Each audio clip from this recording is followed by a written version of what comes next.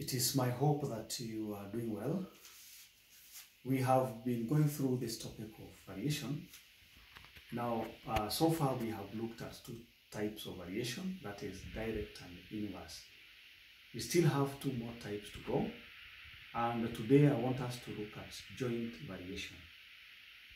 From the name of this type of variation, that is joint, uh, it is a combination of both direct and inverse. When we were looking at direct variation and also at inverse variation, we only had two variables, maybe p and q, y and x, and even from the assignments we did, realized that. But now, when we come to joint, we will have more than two variables. So we can have p varying with r and also with q. So that is why we call it joint. It also combines both direct and inverse.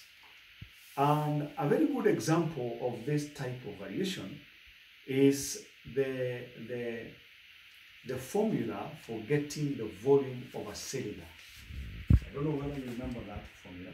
V is equals to pi r squared h. Pi in this case is a constant. Remember I told you you can use anything for, for constant, any symbol. So here we can simply say that the volume of a cylinder V varies as the square of R, that is the radius, and also the height. So we can say, we can write V varies as the square of R uh, and as H. The moment we put the word varies here, and we have not put the word inverse, then it means direct. So if the word inverse does not appear, then the type of variation is direct. Please note that. For it to be inverse variation, the word inverse must be there. That is why you see that these two are not in the denominator. They are not in the reciprocal. Because you remember, for inverse, we were taking the variable in the denominator. But now, they are just in the numerator. Meaning, they are varying directly. So, here, if I was to rewrite this, I would write the equation as V varies directly, because I don't have the word inverse, as the square of R and H together. So there's a multiplication sign because of this word here, and. So I, if I remove the proportionality sign and introduce equal sign, then I'll have V is equals to K R squared H. So in this case, you can be given more information where you, whereby you'll be able to get the constant K. Uh, but before we do that, I would like you to do more examples on how to, first of all, form this kind of an equation from the statement given. For example, if you're told that a quantity P varies as Q and inversely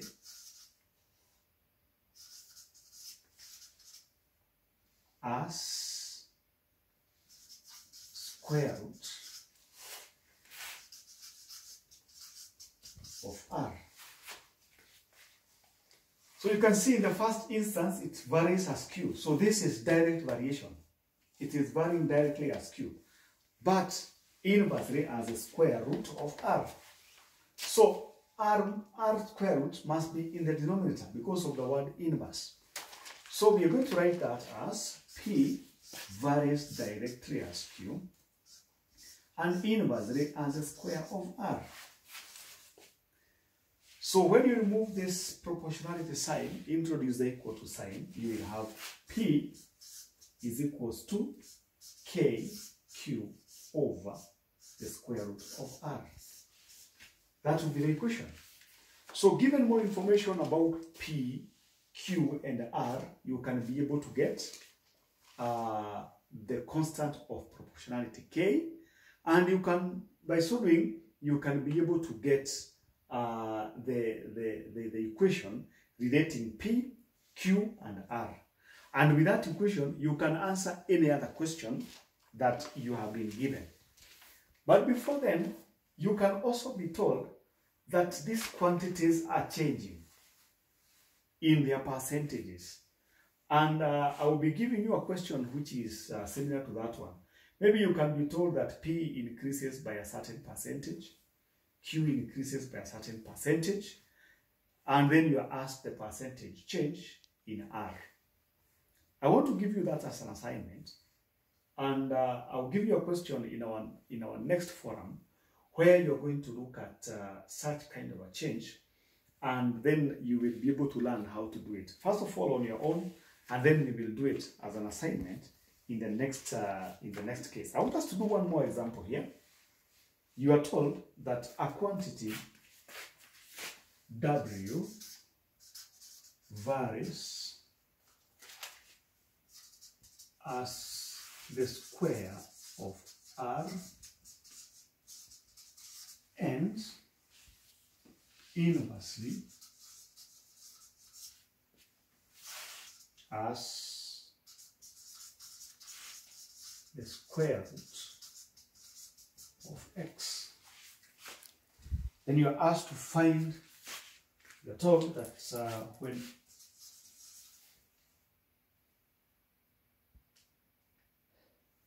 when r is 2,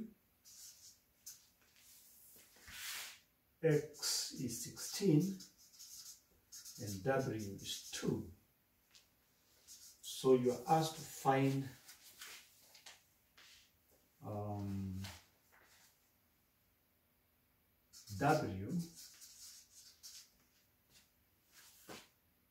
when R is 4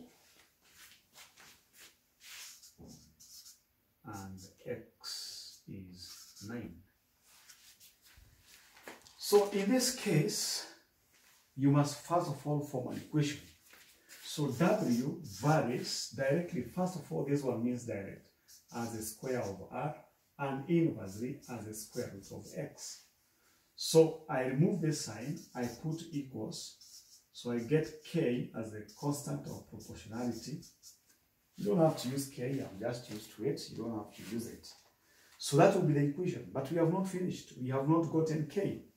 So we use the information given. You are told that when W is 2, um, R is also 2, so K times 4R squared over the square root of X, which is also 4. So this one cancels, and you get K is 2.